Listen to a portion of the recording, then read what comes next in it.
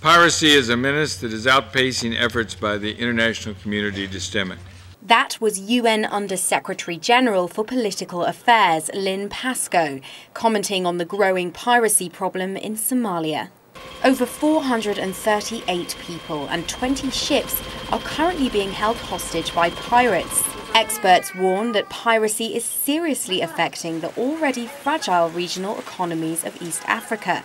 Now, the United Nations says the pirates must be deterred and security established. Yuri Fedotov is the executive director of the UN Office of Drugs and Crime. The only viable long term solution to the Somali piracy problem is to restore law and order in Somalia, including in its waters.